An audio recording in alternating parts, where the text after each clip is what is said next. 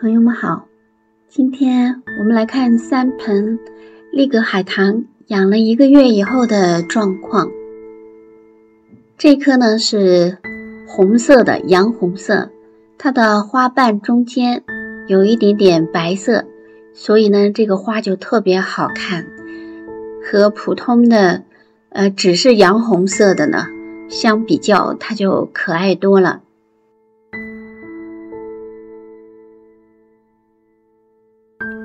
可以看出来，它的状态相当好，叶子和花都不错。我早晨呢，刚刚给它做了一点修剪，把烂叶子和枯掉的花拿掉了一些。如果不拿掉的话，它看上去，呃，那花更多，几乎都开满了。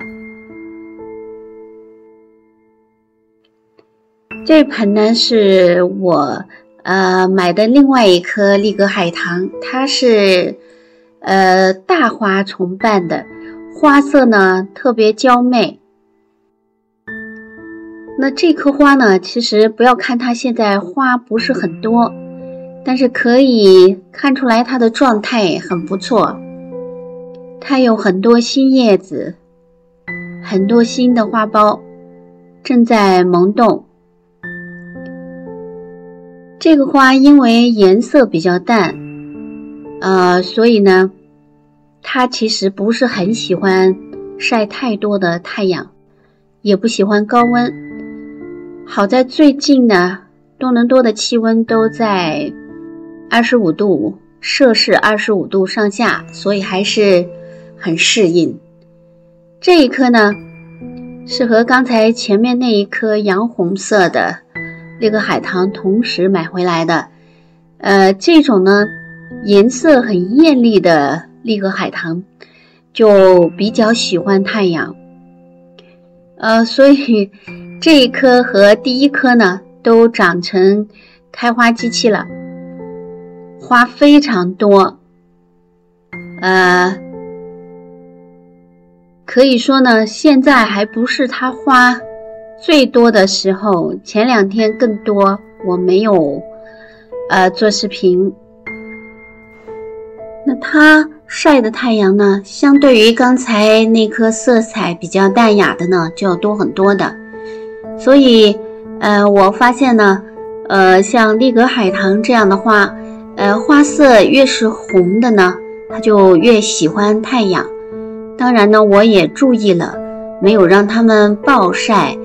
因为海棠呢，属于这种，呃，怎么说呢？既喜欢阳光，又喜欢潮湿的一种植物，所以像这样的植物呢，大多数时候它们呢，呃，都要适当遮阴，特别是在中午两三点钟暴晒的时候呢，都要给它们遮阴的，呃，适当遮阴，它会长得更好。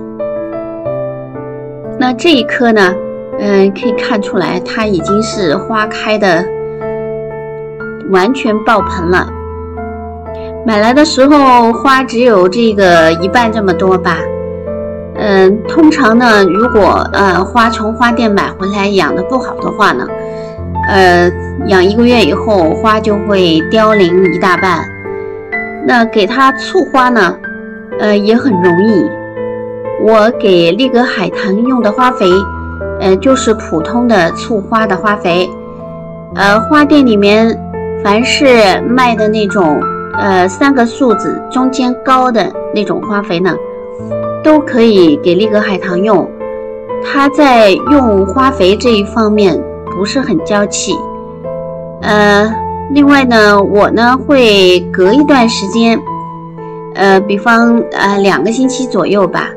给它施一次淡淡的就是淘米水，嗯，我觉得丽格海棠的这个叶子呢，嗯，很需要像淘米水这样的这种花肥来滋润。那淘米水里面呢，含钾的含量呢，相对于其他的花肥呢要多一些，呃，钾含量多，而且它是天然的，所以。嗯，在给这些花草用化肥的同时呢，呃，不要忘记利用家里的条件呢，适当的呢，再给它补充一点点天然的花肥，这种所谓有机的花肥吧。那呃，反正废物利用嘛，呃，给它试一试看。如果你觉得效果不错呢，就可以继续用下去。我呢，其实养花呢，我很多呢都是经过尝试。呃，一开始呢用很少的量试试，发现效果不错，我就继续用。嗯，我觉得很多东西呢，只是听人说呢，不一定是对的，必须要自己实践。只呃，只有自己实践了，试了是好的呢，才是真正的好。因为每个人的经验呢都有不同，因为环境不同，呃，花呢品种也不一样。所以呢，呃，别人用来，呃，用的方法呢，可能呢对他很好，但是呢对自己呢有可能就有一些差异。嗯，我呢把经验呢介绍给大家，那么大家呢可以一开始呢少少的尝试，无论是用淘米水还是促花的花肥，任何一种，你第一次试的时候呢都少一些，看到它确实有效了呢。就继续使用，这样呢非常保险，呃，可以万无一失。另外还有一个呢关键点就是要注意修剪，呃，所有的这些植物，呃，如果你从来不修剪它，呃，就只是浇水啊、施肥啊、晒太阳，它依然长不好的。修剪非常重要，呃，它。呃，已经败掉的残花，呃，已经泛黄的叶子，都需要呢经常的把它摘除。我几乎呢是每一天，我去看到有一些烂掉的叶子，或者是已经长得很不呃漂亮的花了，比方说已经像这种海棠，它会锈掉，就好像是烂掉一样的。好像那个苹果不新鲜了，开始烂了，它会出现这样的状态。像这种时候也没有美感了，就直接把它给摘掉就完了。呃，不要小看这么一个小小的动作。凡是用这个方法去修剪过的这些花呢，它继续开花、继续长新叶子的状态呢，都比较蓬勃。你不去修剪呢，它也会自己枯掉。呃，甚至自己凋零，但是在这个枯萎和凋零的过程呢，它占去了很多养分，而且整个植株呢长势会变得很慢。